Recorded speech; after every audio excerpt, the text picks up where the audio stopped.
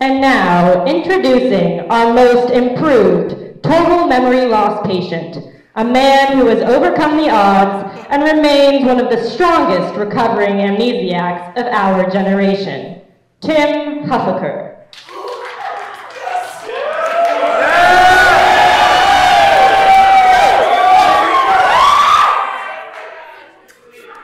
Why are we all here today?